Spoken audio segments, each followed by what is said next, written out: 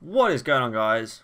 Pro Designs here. I've got another tutorial for you guys today and today's tutorial is going to be the glowing transition effect. Basically, easiest way for me to explain what it is is by playing this preview.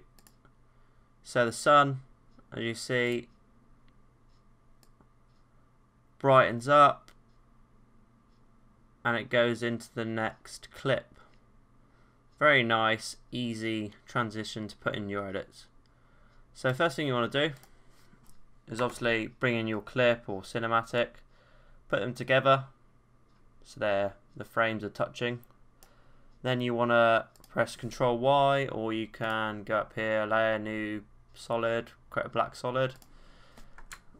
Easier just to press Control Y, make sure the width and height are the same as your composition. Press OK. Uh, now you want to go over to your effects and presets and add optical flares. You can find optical flares on Google. That's what I'm saying. Then you want to go to render mode and go on transparent.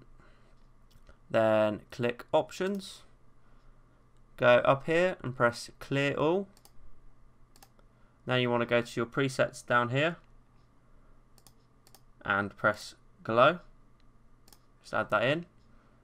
Now you want to go over to this uh, thing that selects the, the colours from a picture or wherever.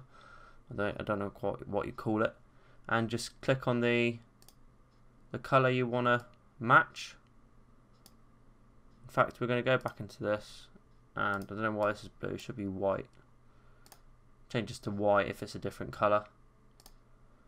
And then you want to add that somewhere where the sun would be or whatever you're using. Then what you want to do is um, go back say let's say eight frames.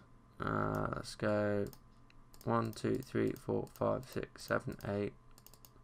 Let's do 12 12 frames. And keyframe this at zero zero then what you want to do is go onto the black solid, press U on your keyboard to bring up the keyframes. Go to where the uh, the clip, the last frame on the first footage, and then click. Uh, you just want to basically not click, just drag up the settings until you uh, the the uh, a frame goes white. Then what you want to do is go forward two frames, let's say three frames, and put this to zero and zero. Now, if we go through it, through the uh, timeline, see it brightens up, comes in, and then fades out quickly.